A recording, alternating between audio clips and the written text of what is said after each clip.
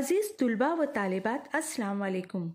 आइए, अब हम सबक के दूसरे हिस्से की तमहीदी वीडियो को समझते हैं। प्यारे बच्चों, जैसा कि सबक डाकू तय करेंगे के पहले हिस्से में हमने ट्रेन और मुसाफिरों के हालात को समझा। ट्रेन तेज़ रफ्तार से बस दौड़ी ही जा रही है।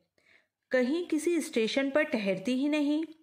तमाम मुसाफिर जिसमें बच्चे, बूढ़े, जवान, मर्द और औरत, जिन्हें उनकी निशानियों से जैसे पैंट, शलवार, साड़ी, तिलक वाली पेशानी वगैरह के बारे में तफसीली मालूम हासिल की। अब इस सबक के अगले हिस्से में हम ये जानेंगे कि मुसाफिरों के साथ क्या मामला पेश आता है।